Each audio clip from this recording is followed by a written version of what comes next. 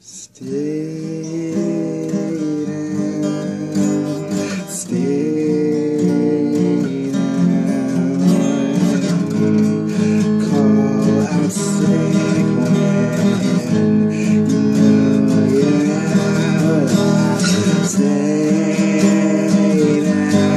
down, stay.